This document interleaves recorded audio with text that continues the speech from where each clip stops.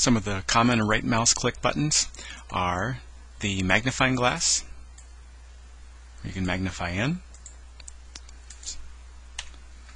Have to hit escape to go back to uh, go back to be able to see these these choices again. Uh, the pan button, which will allow you to move it around like that. Again, you can either click on this to put it away or hit escape.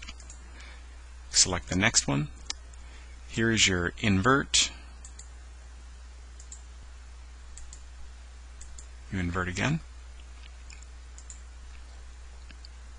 Your measurements, of course, where you click, hold down and drag, and click again.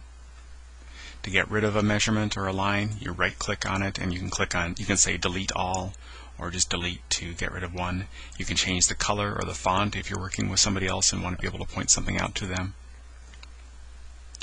Uh, my favorite uh, tool though is help and you can either choose help under the menu or you can hit the press the F1 key on your keyboard. You can browse through the tree if you like for tasks, menus, toolbars. Uh, tips are great because it gives you the shortcut keys. So help is F1. Uh, down here it shows you all of these things uh, that, for example, if you choose A, it'll give you the angle measurement.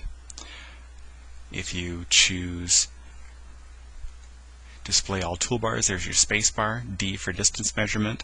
Help is actually pretty useful in this program.